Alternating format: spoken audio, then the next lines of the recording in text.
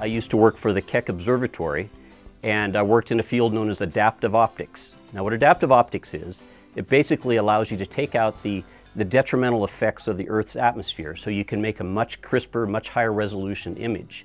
One day, just for fun, uh, we pointed the telescope at the, the planet Jupiter and I noticed that there was a moon nearby, so we pointed at this moon. I didn't know what the moon was, but I noticed on the edge of this moon was a little bright dot. And so I thought, oh, this must be Io because I'd heard somewhere that Io had volcanoes on it, and it must be one of these volcanoes erupting. Well, it turns out no one had ever seen this before. And there was a lot made about this, particularly since the Keck Observatory is on a volcano, and I took a picture of a volcano with this instrument. So all of a sudden, now people are looking at uh, Io and realize that these volcanoes are much more common than originally uh, expected. And this was enabled because we had an instrument. So anytime you point an instrument that enables you to look at the universe in a different way or a way that no one else has ever looked before, you're going to see uh, a lot of new science come out of that. You're going to see discovery after discovery. And this was our own experience at the Keck Observatory.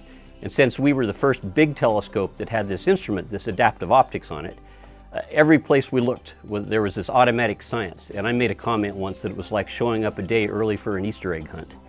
And uh, somebody picked up on that and, and ran that in an article. Adaptive optics is really simple. It's extremely simple to understand, almost impossible to do in practice. But all you do is you measure what the atmosphere is doing to the thing you're looking at, and then you have a mirror that you can bend like a carnival mirror, and you put in that mirror the exact opposite of what you just measured.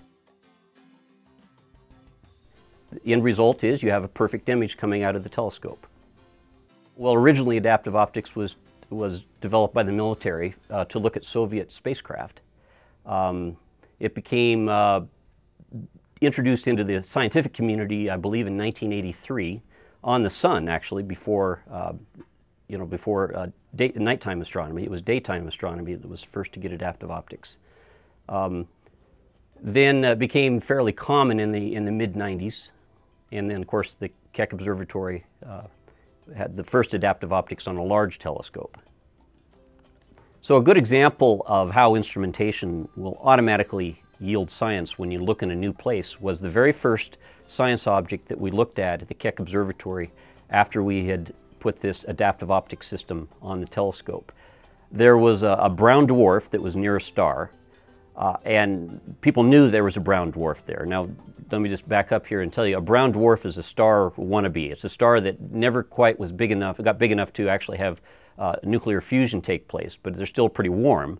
It's like a hot Jupiter anyway, there, it was known there was a brown dwarf around this star, uh, so the astronomers that were uh, directing this wanted to uh, take some high resolution pictures of it.